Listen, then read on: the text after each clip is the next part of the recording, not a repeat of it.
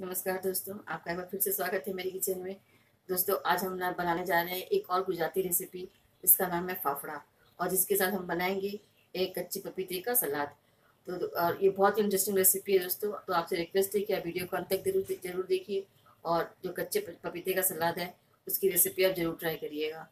तो अगर आपको मेरी आज की रेसिपी पसंद आती है तो प्लीज़ मेरे चैनल को लाइक करिए शेयर करिए सब्सक्राइब करिए और बेल आइकन को प्रेस करना ना भूलिए।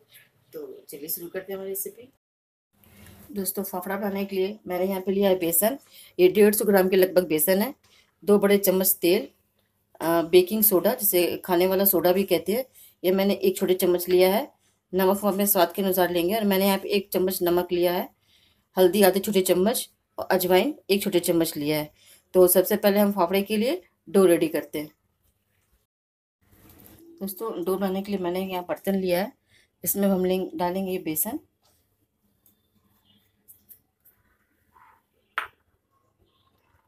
Baking soda.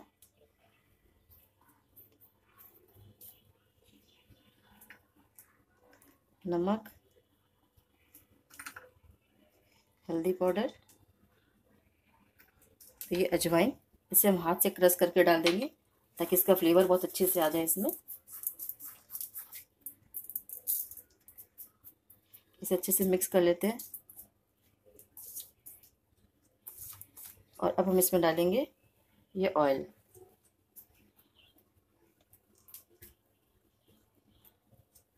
इन सभी चीज़ों को अच्छे से मिक्स कर लेते हैं। उसके बाद हम थोड़ा थोड़ा पानी डाल के इसका एक बहुत सख्त और न ही बहुत नरम डो इसका हम रेडी करेंगे। देखिए दो, दोस्तों मैंने डो रेडी कर लिया है।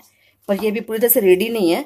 अभी हमें इसे, इसी तरह से छः से सात मिनट तक लगभग बहुत अच्छे से मसलना है। मसल मसल के इसे नरम करना है।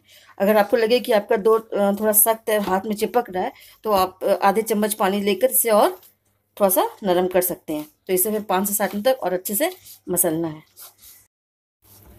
देखिए दोस्तों, मैंने इसका एक नरम डो रेडी कर लिया है। मैंने छः से सात मिनट तक इसे अच्छे से पूरा मसल मसल के इसका डो बनाया है। तो अब हम क्या करेंगे, इसे ढककर दस से पंद्रह मिनट तक रेस्ट करने के लिए रख देते हैं। देखिए, हम एक लोई ले लेते हैं और इसे बेल लेते हैं।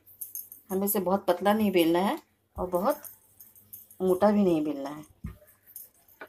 हम छोटे छोटे साइज़ के पापड़े फाफड़े बनाएँगे क्योंकि हमारी कढ़ाई छोटी है तो बस हम इसे बीच में से कट कर लेते हैं। इस तरह से। और इसे हम सावधानी से उठा लेंगे। हम इसे सावधानी से उठाएँगे क्योंकि ये बहुत नरम है और टूट भी सकता है।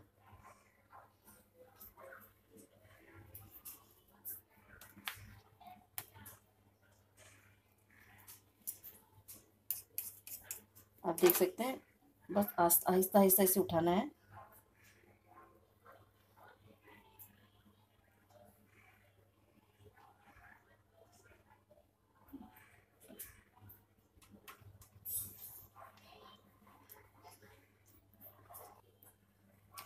देखिए, मैंने इस तरह से कुछ फाफड़े की पट्टी बना के तैयार कर ली है और इसी तरह से हम सारे लोई के फाफड़े बना लेते हैं, फिर हम तेल में से फ्राई करेंगे।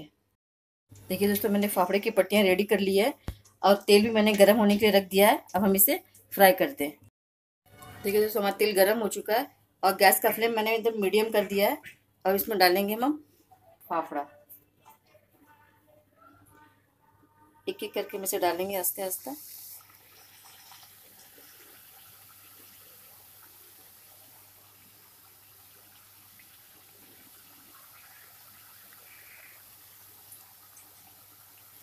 इसमें हम ज़्यादा नहीं डालेंगे, इसे अच्छे से फ्राई होने देते हैं। गैस का फ्लेम हम एकदम मीडियम रखेंगे।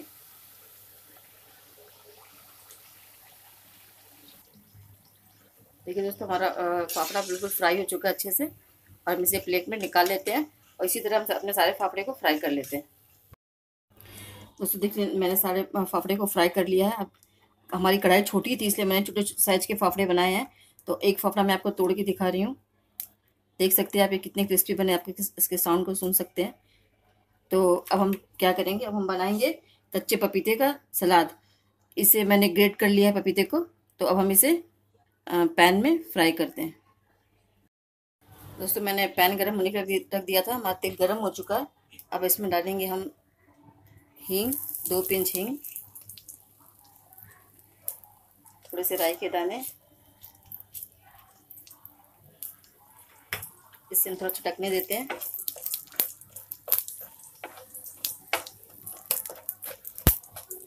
अब हम इसमें डालेंगे ये हरी मिर्च। मैंने दो से तीन हरी मिर्च ली है क्योंकि हरी मिर्च काफ़ी तीखी है तो आप अपने स्वाद के अनुसार हरी मिर्च ले सकते हैं। इसे हम हल्का सा फ्राई कर लेते हैं। तो हम इसमें डालेंगे ग्रेट किया पपीता। इसे अच्छे से मिक्स कर देते हैं। अब इसमें डालेंगे हम हल्दी और ये नमक।